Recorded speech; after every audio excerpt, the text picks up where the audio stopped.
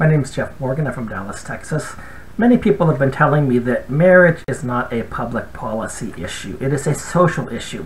In fact, one organization in Texas recently wrote back to me and they said, we won't deal with the topic of marriage because marriage is a social issue. I did write back to them and I mentioned, no, it is not a social issue. It is a public policy issue that actually has social ramifications. There's a difference between the two. Marriage is mentioned in the Texas state constitution, and marriage as a public policy is even referred to in the Texas Family Code and other places. So, as I was thinking about this whole topic about marriage is just a social issue, uh, and particularly as it pertains to the to divorce, I did some research today and I found an article from the Investor's Business Daily. Now, the Investor's Business Daily is not a social magazine. It is not a, a newspaper that is actually advocating for social policy. It, it is a business magazine. And in October 23rd of 2013, they ran an article called Five Ways Lenin's Propaganda Destroyed Marriage and the Family in Russia. And as I was reading this article, I could not help but think about Vladimir Lenin is alive and well today in Texas, and particularly in the Texas Family Code. The success of a revolution, V.I. Lenin declared at the first All-Russian Conference of Working Women in 1918, depends on how much women take part in it. And based on his writings, there was little doubt that he believed this. The problem was, most Russian women weren't interested. Unlike what was going on elsewhere in Europe, where the suffrage movement was underway and the Industrial Revolution had drawn many women into the workforce, Industry in Russia was still in its infancy, and the female population was mostly rural and illiterate. So there was a little bit of a change here as far as the Leninism or Marxism, communism, whatever you want to call it, uh, was uh, in the Russian society. The focus was on the family, not what Marxism could do for the working class, because it wasn't the strong working class. So we're going to talk about how Leninism, Marxism, um, how they could help the family. But unlike economic classes such as the kulaks or the aristocrats who had fallen into his disfavor, women could not be liquidated. Their favorite institutions could, however, and that's why Lenin specifically targeted marriage and family in his effort to build a new Soviet man.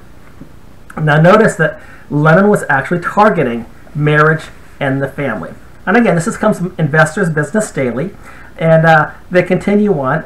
Uh, five elements stand out in how Lenin and his Bolsheviks used propaganda to get women to support his revolution. So the first element to get women to support the revolution was this. They equated marriage with slavery. And we've heard that today, haven't we? Marriage is slavery. We should just, women need to be liberated from marriage and from the doldrums of family life. Lenin and his feminist lieutenants, particularly Alexandra Kollontai, the first female commissar in the Soviet government, considered much of what the suffragettes were fighting for, including voting rights and equal protection under the law, bourgeois convention. Sounds a lot like modern day feminism, doesn't it? What they had in mind was something far more radical an all out war on old and outdated institutions like marriage and family so that the dominance of the state could be achieved.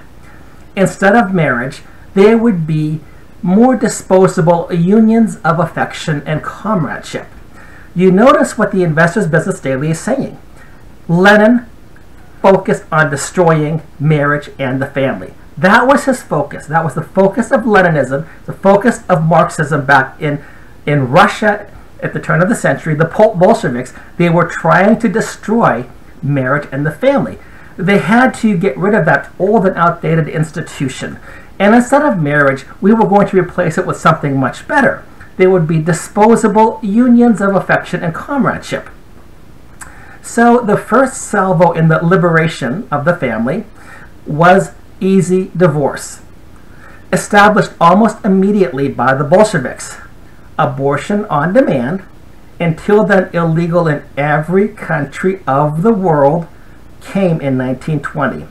So first we have divorce on demand, and then we have abortion on demand. And by the way, we see that exact same pattern in the United States of America. In 1969, we had unilateral divorce on demand that was signed into law by Ronald Reagan, who later said it was one of the biggest mistakes he committed in public office. And in 1973, we had Roe versus Wade, which was essentially abortion on demand. But notice once again, divorce on demand actually preceded abortion on demand. The family is ceasing to be necessary either to its members or to the nation, Kollontai wrote that year. But capitalists, she said, are well aware that the old type of family, where a woman is a slave, look at this propaganda, whereas a woman is a slave and where the husband is responsible for the well being of his wife and children, is the best weapon in the struggle to stifle the desire of the working class for freedom and to weaken the revolutionary spirit of the working man and working woman. So, in the fight for communism, they, the, the first salvo was to destroy marriage and the family and to equate marriage to slavery, to tell the woman that she was a slave and that she needed to be liberated, and that this liberation would um, help strengthen the revolutionary spirit of the working man and working woman. And notice that the Leninists knew that the enemy to all of this revolution was the family. So that's what they set out to destroy. And how did they set out to destroy it? Number one, with easy divorce. Number two, with easy abortion. Divorce on demand and abortion on demand.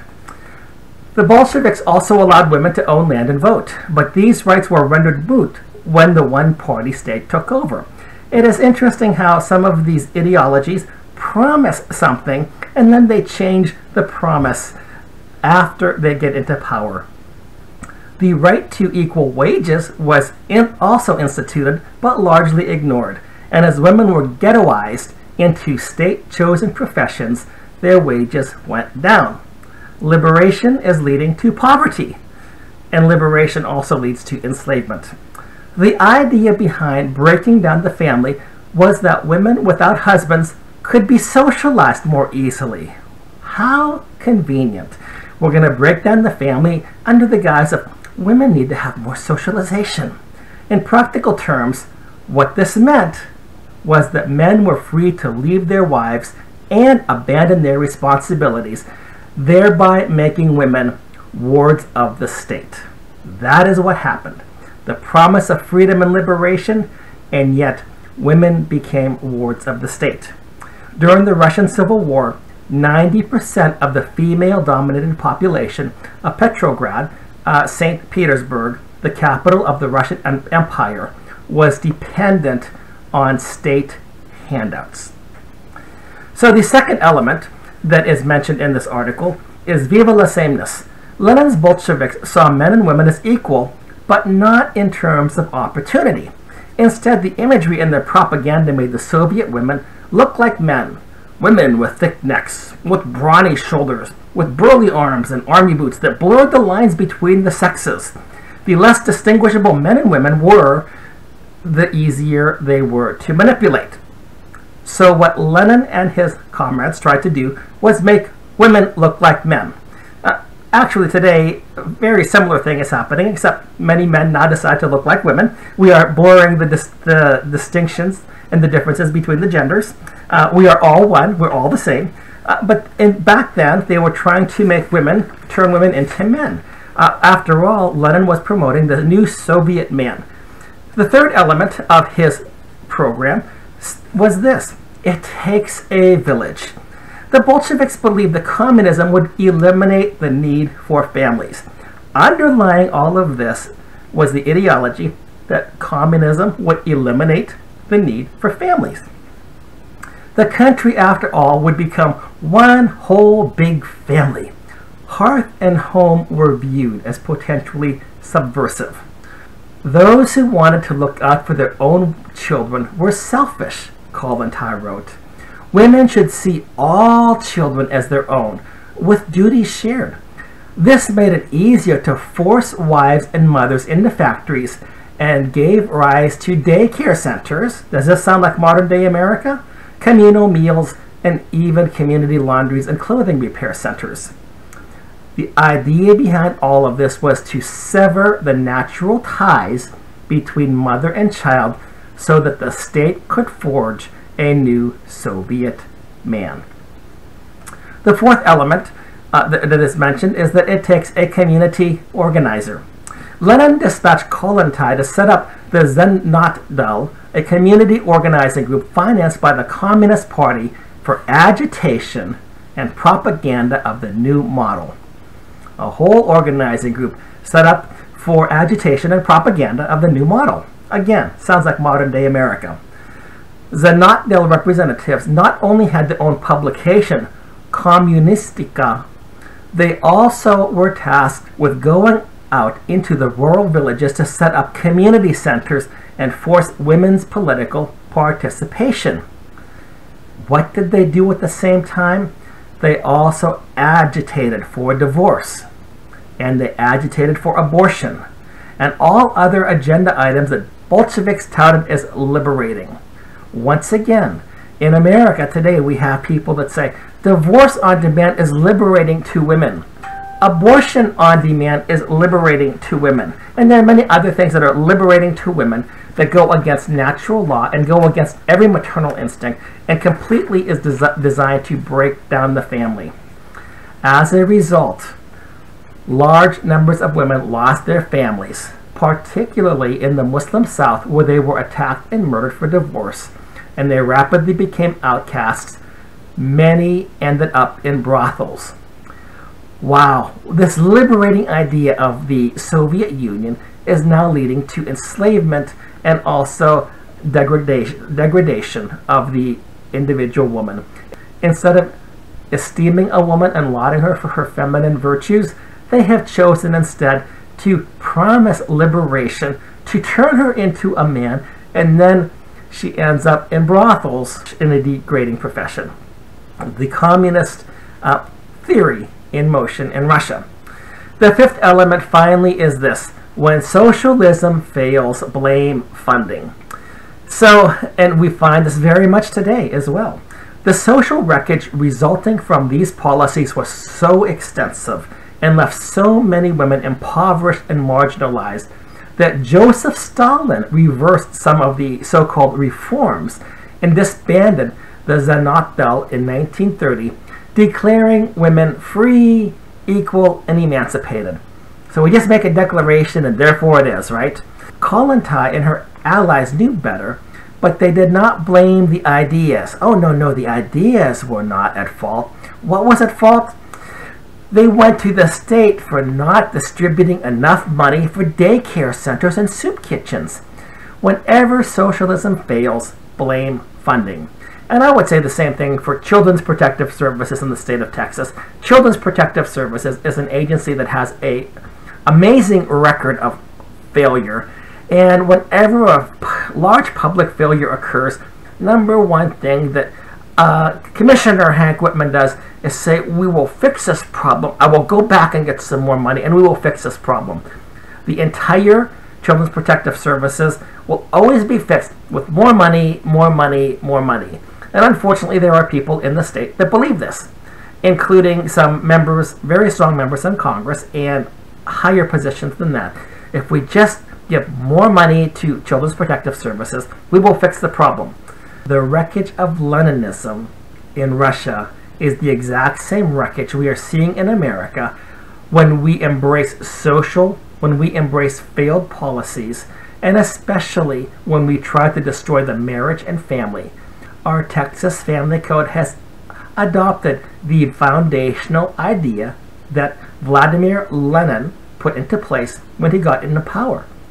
Easy divorce, divorce on demand. In the Texas Family Code, you can get divorced for any reason, for no reason. You have to have no proof.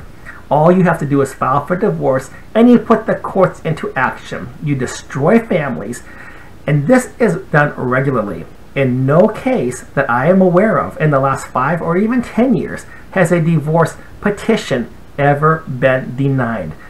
All you have to do is make an accusation of that the marriage is insupportable due to discord of personalities, and the state of Texas, like Vladimir Lenin and the Bolsheviks, will say, We will grant the divorce, we will destroy the family, we will destroy the marriage.